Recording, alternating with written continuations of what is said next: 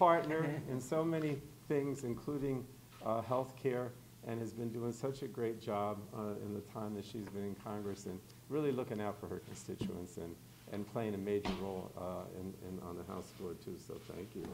I'm in your district, I Thank you, better be Frank. nice, Yeah, right? yeah, yeah, yeah. So, good morning, everybody. Um, I want to thank Citizen Action, and I think NJPP is here. And um, I just want to tell Adi that you're an amazing human being who's using your time on earth to help others so that they might not have to experience what you are going through right now. And that's just what we should be looking to do. Um, there's nobody better uh, and more knowledgeable about what's happening, what's happened to healthcare, what was proposed for healthcare, and what is proposed when we uh, become the majority in November. And I believe because of so many things that are happening across this nation and so many mean-spirited policies being advanced, there is a very likely chance that we will have a majority. So Frank has very much told you um, sort of the history and where we are now. And I, so I just want to just talk a little bit about what did the expansion of Medicaid mean and what does Medicare mean?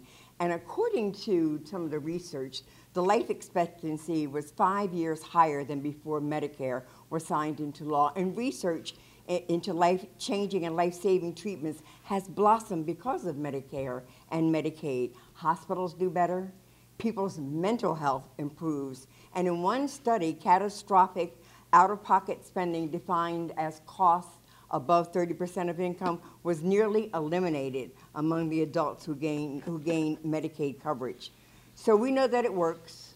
We know that it makes life better. We know that it, it uh, makes life longer, and it, and it gives people the opportunity to be healthier. And helping Americans is what we should be doing, in expanding our programs, not contracting them. But instead of celebrating this 50 year, 53rd year anniversary, uh, we are trying to hold on. We are trying to push back. We are trying to galvanize people across this country who will stand up and, and, and speak out and um, push back on Republican policies.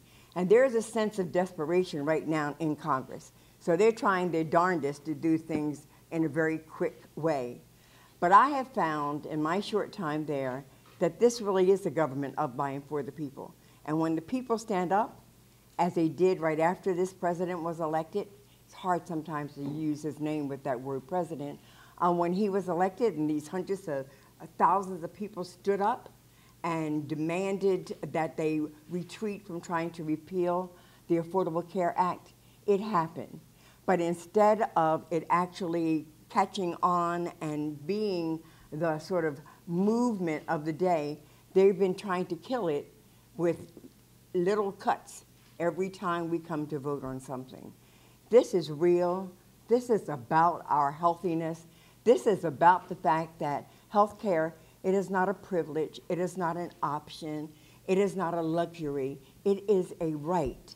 And as the country that is the richest country in the world, although it might not be now, um, we should not have anyone in need of health care who doesn't have access to preventive health care, to health care for chronic illnesses, for health care for pre-existing conditions, and for health care that will extend their lives.